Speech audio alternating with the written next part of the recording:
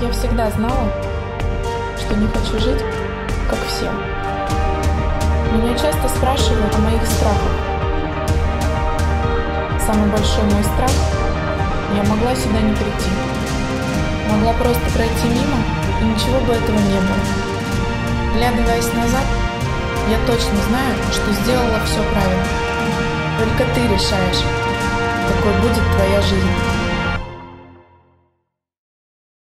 Не откладывай на потом. Живи сейчас.